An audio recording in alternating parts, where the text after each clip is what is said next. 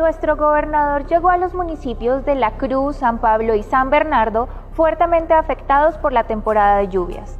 Desde Nariño instamos al gobierno nacional a apoyar en la atención inmediata frente a esta emergencia que supera la capacidad local y regional, que afecta a cientos de familias, vías, viviendas, acueductos y cultivos. Bueno, hoy estamos aquí en San Pablo después de hacer un recorrido por el norte del departamento, serias afectaciones. Llegamos a la Cruz Nariño, ahí tenemos afectaciones en la vía que va a San Gerardo, se fue el puente que está en la vereda La Vega, totalmente destruido, incomunicados dos corregimientos que están en este sitio y de la misma manera salimos hacia el municipio de San Pablo. Aquí el problema complejo frente a la vía que comunica a San Pablo con la Unión Nariño, con Mojarras. Tenemos eh, una pérdida de banca llegando hacia la Virgen de la Playa. Ahí se perdió la banca totalmente, incomunicado San Pablo por este sitio. Lo propio también ha sucedido en Colón, Génova.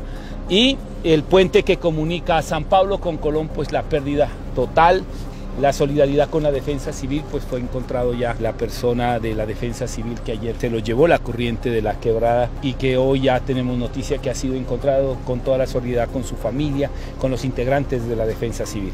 Pues el balance es bastante preocupante de lo que ocurre en nuestra región y sí esperamos el apoyo del gobierno nacional a través de la unidad de riesgos y también pues a través de Invías y todas las instituciones. Eh, vamos a tener un puesto de mando unificado.